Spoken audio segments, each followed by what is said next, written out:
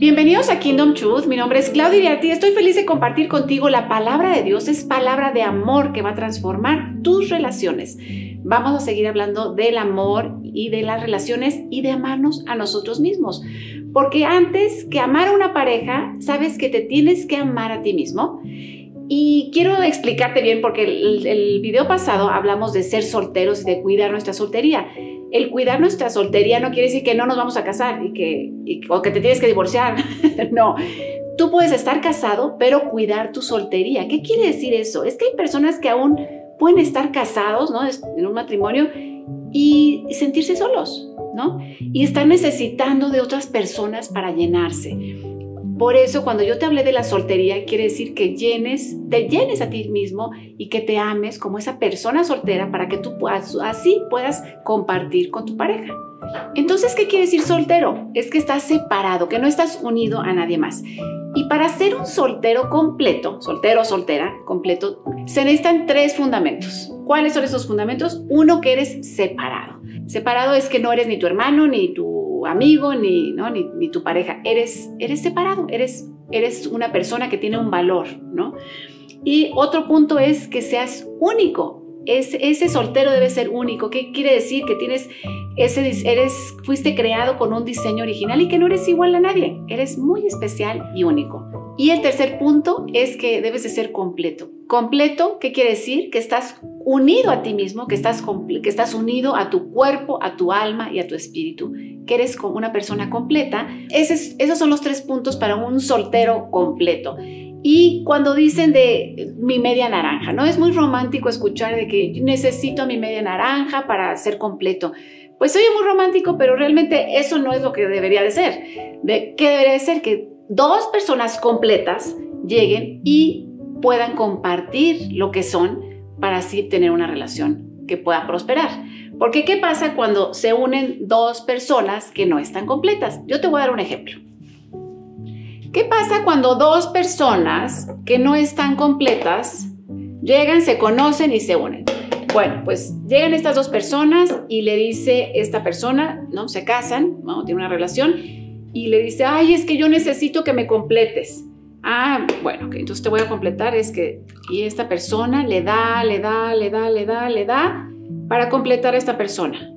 ¿Qué pasa en esta relación? ¿Qué pasó con este vaso? Ups, se quedó vacío. Y entonces esta persona te dice, oye, pero es que yo siempre te doy y tú nunca me das nada. Ah, sí es cierto, entonces yo te voy a dar. Y entonces esta persona le da. No, pero es que necesito más, es que no me dices nada romántico, es que no eres tierno, es que no eres cariñoso, yo necesito que me des más. Ah, ok, yo te doy más, yo te doy más y le da más. Y eso puede pasar en, cualquier relación, ¿no? Y, pero no lo hacemos de una forma consciente. Eh, obviamente es inconsciente. ¿Por qué? Porque queremos estar llenando esos vacíos que tenemos dentro. Y entonces, ¿qué debemos de hacer?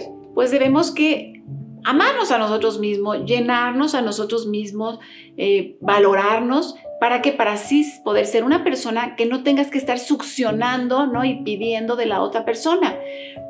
Vamos a ver ahora el ejemplo de dos personas completas, que eso es lo ideal, que eso es lo que, lo que Dios quiere, que seamos unas personas completas. Nos estamos llenando primero del amor de Dios y después de llenarnos del amor de Dios, pues ya tenemos amor por nosotros mismos.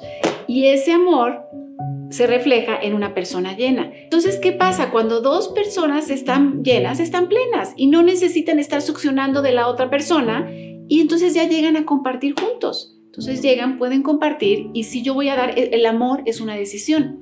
Entonces voy a dar porque decido amarte y voy a darte sin estar esperando nada a cambio. Porque yo soy plena, así, aunque no me des, pues yo soy una persona llena. Entonces lo que te voy a dar va a sobreabundar.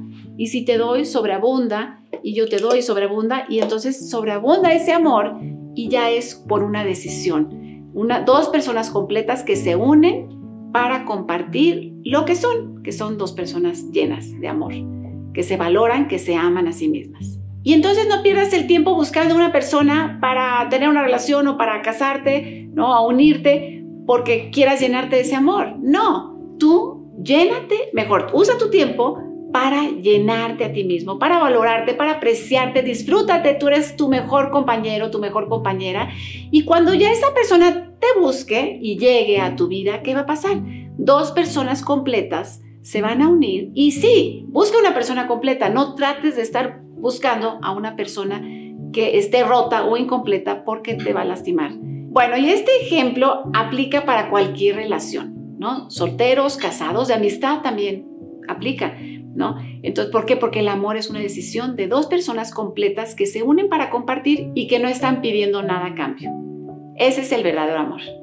Si te gustó, compártelo con tantas personas que no se saben relacionar porque no se aman a sí mismo primero. Que Dios te bendiga y nos vemos la próxima vez. Hasta pronto.